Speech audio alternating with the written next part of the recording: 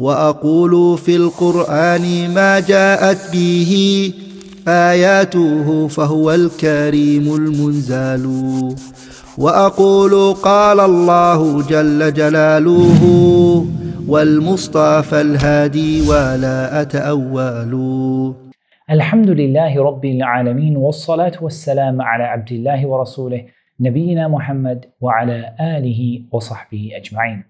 Assalamu alaikum wa rahmatullahi wa barakatuh. Welcome to another episode in this series brought to you by Al Madrasatul Umariyyah, based on the statement of Allah Azza wa Jal, وَقَالَ رَبُّكُمْ astajib lakum. And your Lord said, Call upon me and I will answer you.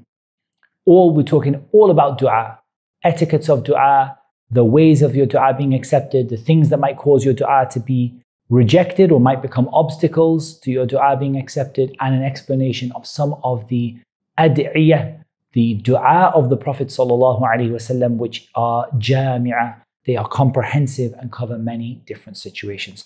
What we're going to talk about in this episode, or at least what we're going to start off by talking about in this episode, inshallah ta'ala, is the importance of the heart being conscious, aware, and connected to Allah subhanahu wa ta'ala at the time of dua.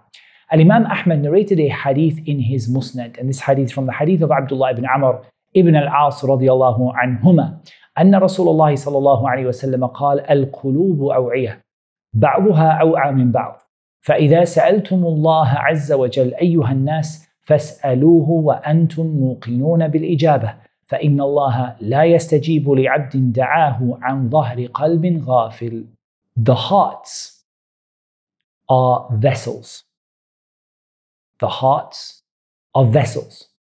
Some of them are better vessels than others, or some of them are more suitable vessels than others in terms of what they can contain, the suitability of, of, what they contain and their ability in terms of, you know, sometimes we talk about aw'a, meaning ahfad, better memorization, but here just meaning more suitable for the job than others. So if you ask Allah, O people, ask Him while you are certain that He will respond to you. And we'd already alluded to this in a previous episode the importance of being certain that Allah Azza wa Jal is going to answer you and having yaqeen that Allah subhanahu wa ta'ala is going to answer you. That's one of the major etiquettes of dua.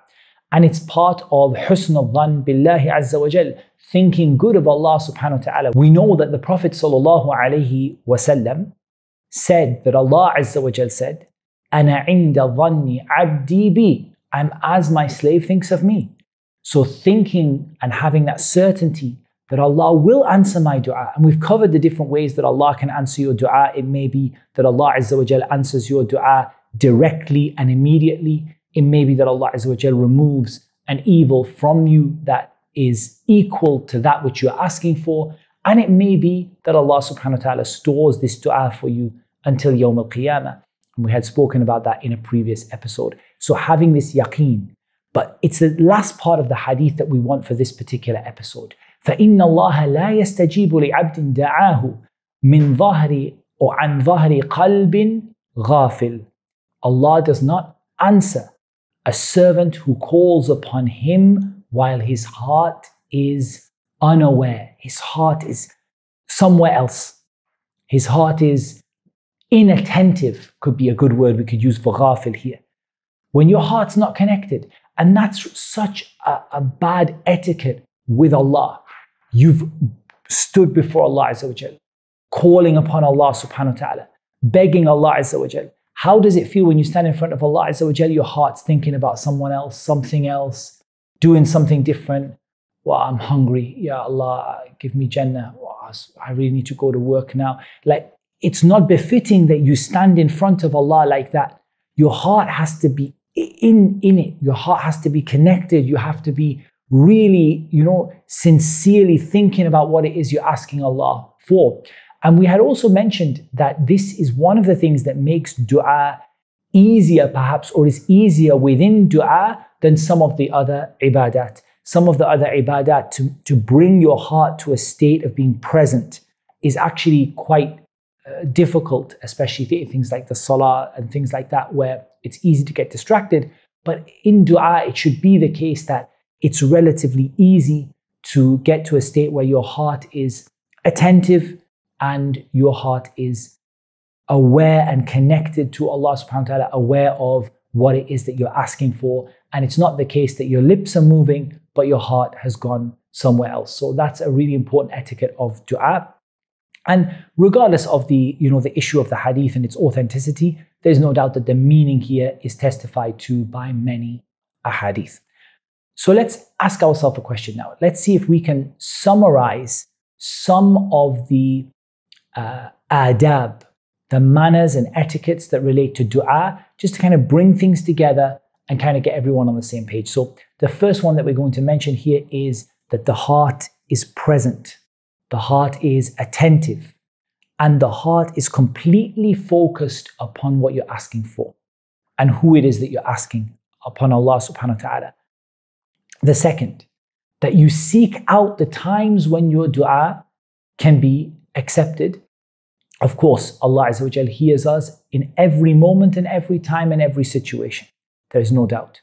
However, looking for those times, it shows your keenness, it shows your dedication, it shows your need of Allah subhanahu wa ta'ala that you're asking Allah at those times and you're waking up early before Fajr, when the rain falls, you're looking for when you're traveling, when you are uh, between the adhan and the iqamah, you're always looking for opportunities to get near to Allah. أولئك الذين يدعون يبتغون إلى ربهم الوسيلة. They are the ones who call upon Allah after Allah mentioned some of His awliya. They are the ones who make dua to Allah. They are not made dua to, they make dua to Allah, seeking a means of nearness to Him looking for those times, those places, those words that will get that dua to be accepted. And we should follow that example.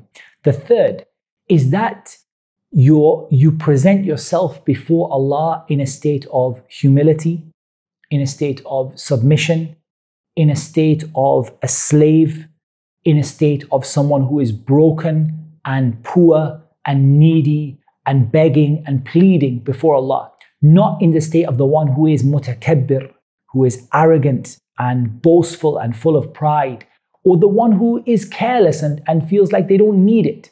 You know, oh Allah, if you want, we mentioned why we don't say inshallah in dua, because the meaning of inshallah is, oh Allah, if you want to forgive me, forgive me. And if you don't want to forgive me, I don't really care. That kind of attitude is not appropriate before Allah subhanahu wa ta'ala. That's what is understood when you say, or that's what's implied when you say, Insha'Allah. Allahumma ghfirli in shi'ta. Oh Allah, forgive me if you want. It doesn't feel like the person is pleading and begging, like the person is desperate, like the person is, is a slave before his Lord.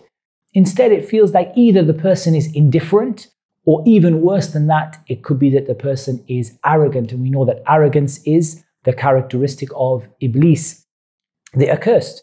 As Allah Azza said, Aba wastakbara wa kana min al kathiri. He refused and he was arrogant and he was among the disbelievers.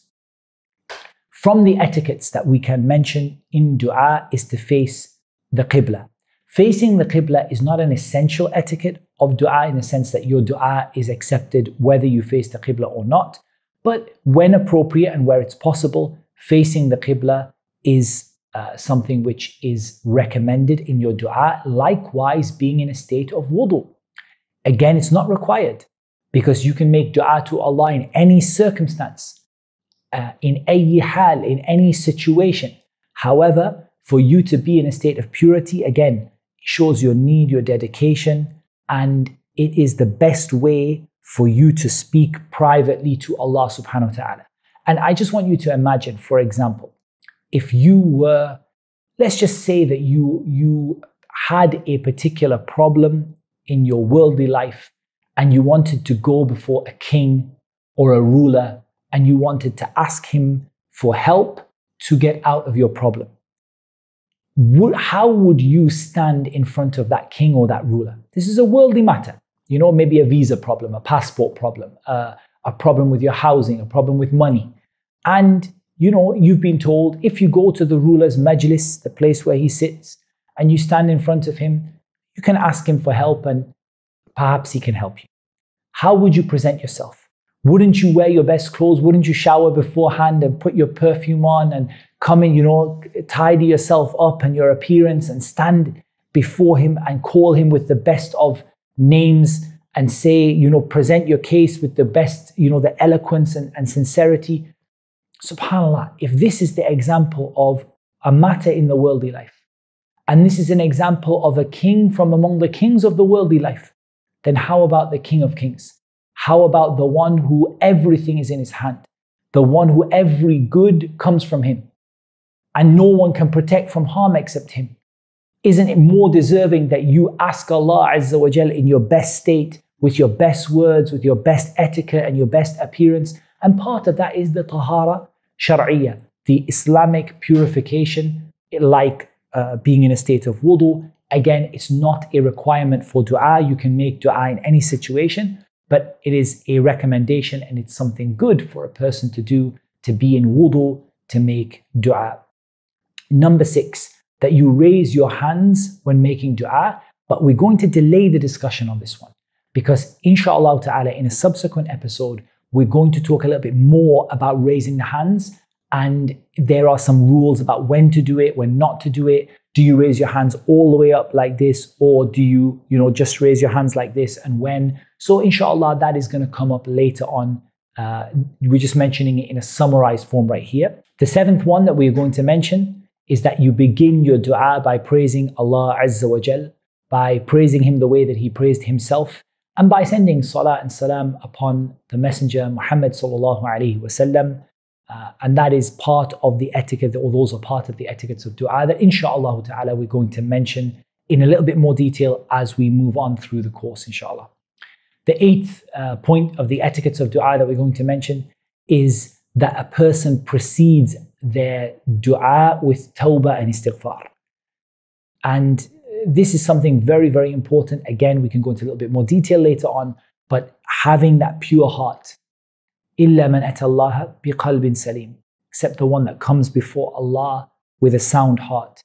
It's befitting when you stand before Allah Azza wa Jal that you try to purify your heart as you try to purify your body. And just as you would wish to be pure and clean externally, you should also be pure and clean internally, and this requires uh, tawbah and istighfar. And inshallah ta'ala, that will also be discussed in some detail as well. The ninth point that we're going to mention is al ilhah, that is to plead with Allah, to uh, to see this as a private moment between you and your Lord, a private moment. So when people talk about munajah, you know, a private moment between you and Allah and to plead with Allah, to beg in front of Allah. And Allah loves for you to plead with Him, and He loves for you to beg, uh, to, to beg uh, from Him, subhanahu wa ta'ala.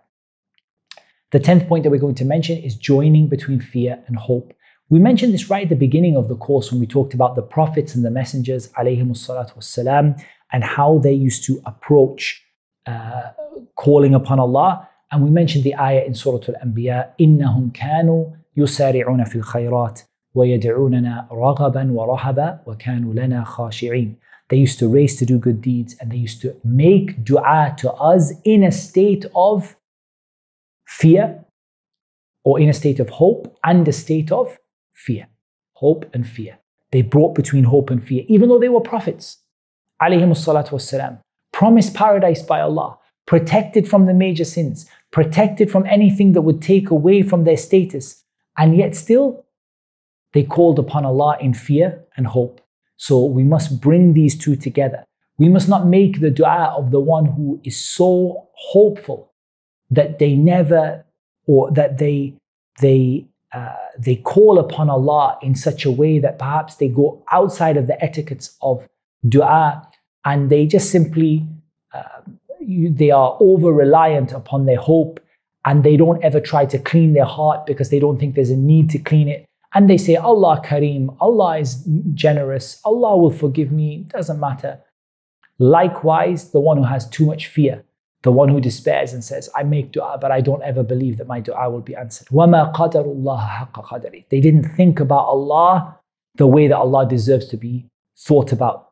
Or they didn't give Allah his, his due. They didn't give Allah his due because to say that Allah will not answer my dua, that is to think badly of Allah subhanahu wa ta'ala, but rather to join between fear and hope.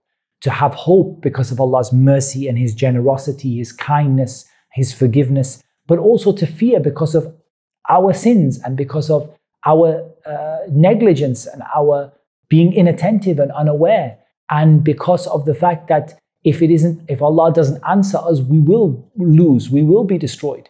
And so to have that hope and to have that fear together. The uh, 11th point that we're going to mention, inshallah, is coming near to Allah with His names and His attributes, His sifat, His tawheed. You know, so this is to do with coming near to Allah Azza wa Jal in, uh, in dua through a tawassul al-mashru' the tawassul which is permitted in Islam, not the tawassul which is prohibited, and we'd already explained that in a previous episode. We're now up to the uh, 12th uh, point uh, from the etiquettes of dua, and that is to give sadaqah prior to making dua.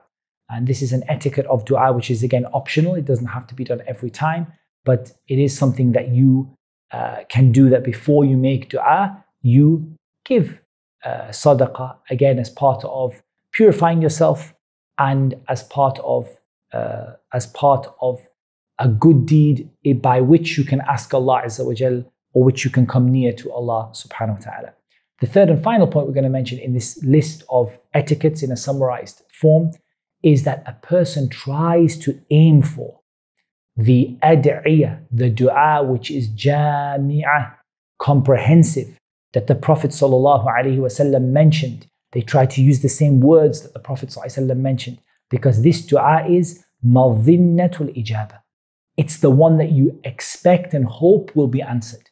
The dua of the Prophet ﷺ is better than our dua. His words are better than our words. They're more suitable and more appropriate to be used in front of Allah subhanahu wa ta'ala. So a person tries to stick with the dua the Prophet ﷺ made and tries mostly or many times to use the comprehensive supplications. I just give you a, a simple example of that. ربنا آتنا في الدنيا حسنة وفي الآخرة حسنة وقنا عذاب النار.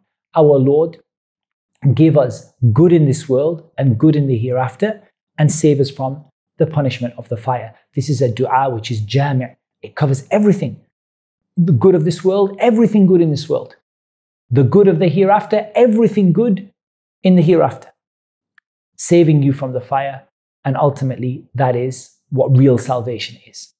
And likewise, to call upon Allah Azza wa Jal, and, and probably this would be better if we mentioned it among the, the names of Allah Azza wa Jal, but uh, inshallah ta'ala, we will come to it in a subsequent episode in detail. And that is to call upon Allah Azza wa Jal with His greatest name, Ismullah al-A'zam. الذي إذا دعي bihi ajab wa ida su'ila bihi a'ta. The name that if he is made dua to with it, he answers that dua, and if he's asked by it, he gives what he is asked for. And again, I want to go into some detail about this later on, but just to briefly cover that the strongest opinions regarding the greatest name of Allah Azza is the first is that it is Allah, the second is that it is Al Hayyul Qayyum, and the third is that it isn't one name, but all of the names of Allah that are comprehensive in meaning and cover are, are wide in meaning. Um, so some of the names of Allah are restricted in meaning in the sense that the meaning is limited to a particular thing. And some of them, like Al Hayy, Al Qayyum, Allah, and so on, are very broad in meaning. They, they have many, many meanings within them. So the three opinions are Allah, Al Hayy Al Qayyum, or every name which has a comprehensive meaning. And there are many, many other opinions. There are tens and tens of opinions about this, but those are the three strongest. Now, what does that tell you? There's no reason why you have to choose one of these three and exclude the others. Bring them together. When you call upon Allah, call upon Him by the name Allah, call upon Him by the name Al Hayyul Qayyum, call upon Him by the names of Allah that are comprehensive in meaning and have many, many meanings within them. Vary the names and attributes or the names that you use and vary the way that you call upon Allah, praising Him with what He praised Himself with, what His Prophet praised Him with, and following the Sunnah in terms of the etiquettes of doing so. Within that, you will regularly, insha'Allah ta'ala, be calling upon Allah with His greatest name, the name that if He is made dua to with it, He answers. And if He is asked for something through that name, He gives what He is asked for. So that brings us to the end of what I wanted to mention in this episode, which is kind of a, a summary, sort of a, a, midway summary, if you like, of where we ha- some of the things we've covered and some of the things we're going to cover, inshallah ta'ala. And all of those things hopefully come together in terms of the etiquettes of dua, and a person tries to bring as many of them as possible. I do really want people to bear in mind that not all of these etiquettes are obligatory and many of them are voluntary. So, you know, I don't want someone to say, well, I don't make dua because I'm not in wudu. I don't make dua because um, I haven't got time to say such a long thing and I only had time, so I didn't do it. Rather, a person should make dua habitually all the time and regularly, but try as much as possible to bring as many of these causes of acceptance as they possibly can. That's what Allah made easy for me to mention in this episode, and Allah knows best. والصلاة والسلام على نبينا محمد وعلى آله وصحبه أجمعين. Assalamu alaikum wa rahmatullahi wa barakatuhu. How can you do a two second action right now that will give you a share of the reward of everything we're doing on this YouTube channel? Simple. Like this video and click subscribe. Why? It will allow YouTube to recommend our videos to other users.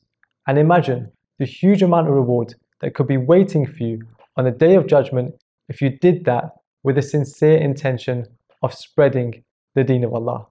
You'll be rewarded for every single person who benefits from one of our videos as a result of your like or subscribe. That's an easy two second action that you definitely don't want to miss out on. Do it now, click like and subscribe, and don't forget to make that intention.